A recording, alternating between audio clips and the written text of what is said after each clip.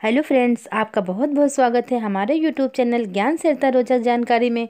तो फ्रेंड्स, आज की वीडियो में हम बात करेंगे कि सफ़ेद कपड़े, रंगीन कपड़े हमें किस प्रकार से धुलने चाहिए, कपड़ों के दाग हम कैसे छुड़ाएँ। तो आगे बढ़ने से पहले अगर आपने अभी तक हमारे चैनल को सब्सक्राइब नहीं किया है तो प्लीज़ सब्सक्राइब कर लीजिए, जिससे कि हमारी नई वीडियो आपको सबसे पहले मिल सके। कपड़ों की धुलाई करने से पहले हमें कुछ बातों का ध्यान रखना बहुत ही ज़रूरी होता है, जैसे कि सर्फ या साबुन का इस्तेमाल कपड़ों के अनुपात को ध्यान में रखते हुए करें। बहुत ज़्यादा सर्फ या साबुन के इस्तेमाल से आपके कपड़ों पर नकारात्मक असर भी हो सकता है। खास तौर पर जब आप सूती, ऊनी या सिल्क के कपड़े धो रही हैं तो बहुत ज़्यादा सर्फ का इस्तेमाल ना करें। इससे सूती कपड़ों को काफ़ी नुकसान होता है। कपड़ों को बहुत गर्म पानी में नहीं धोना चाहिए। इससे वो सुकड़ सकते हैं। अगर किसी खास कपड़े को हाथ से धोने के लिए कहा जाए तो उसे हाथ से ही धोना चाहिए।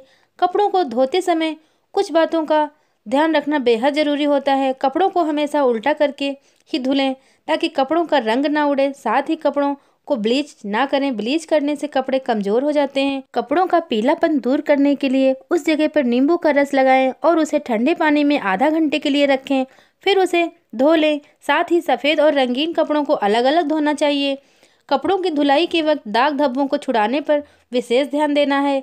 कपड़ों को वॉशिंग मशीन में डालने से पहले उन पर लगे दाग धब्बों को हाथ से छुड़ा दें।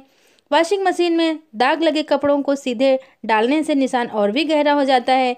रंगीन कपड़ों को सूरज की रोशनी में ना सुखाएँ, कपड़ों का रंग फीका हो सकता है। वॉशिंग मशीन में कपड़े धोते वक्त थोड़ा सा वॉशिंग सोडा भी डाल दें, कपड़े इससे बेहद मुलायम हो जाएँगे।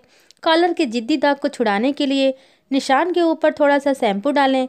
शैम्पू को वैसे रगड़ें जैसे बाल धोते वक्त करते हैं शैम्पू को तेल हटाने के लिए ही बनाया गया है। इसलिए तरह तरह के दागों को हटाने के लिए शैम्पू आपके लिए कारगर साबित हो सकता है। पसीने का निशान हटाने के लिए कपड़ों को गुनगुने पानी में विगेनर डालकर डुबोएँ वॉशिंग मशीन में कपड़े धोते वक्त हमेशा सबसे पहले डिटर्जेंट डालें और उसके बाद कपड़े डालें।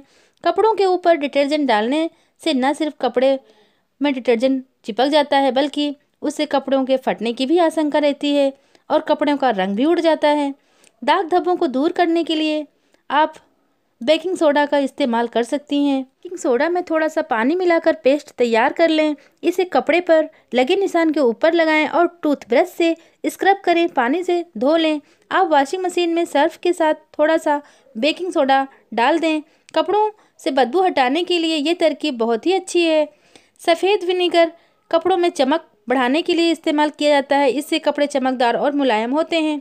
कपड़े धोते वक्त सबसे आखिरी में वॉशिंग मशीन में दो चम्मच सफ़ेद विनेगर डाल दें। इसके अलावा सफ़ेद कमीज पर अंडराम्स के पसीने में लगे निशानों को हटाने के लिए सफ़ेद विनेगर को स्प्रे बोतल में डालकर उस जगह पर स्प्रे कर दें। कपड़ों पर लगे दाग हटाने के लिए आप बोरेक्स पाउडर का भी इस्तेमाल कर सकती हैं। डिटर्जेंट पाउडर के साथ डेढ़ चम्मच बोरेक्स पाउडर भी डालें।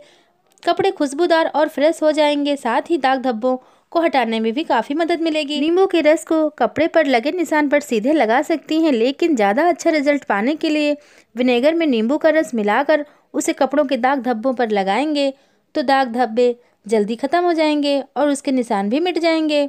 तो फ्रेंड्स, ये थे कपड़ों की धुलाई करते समय ध्यान देने वाली बातें। तो अगर वीडियो आपको अच्छा लगा हो तो आप हमारी वीडियो को लाइक करें, शेयर करें, कमेंट करना तो बिल्कुल भी ना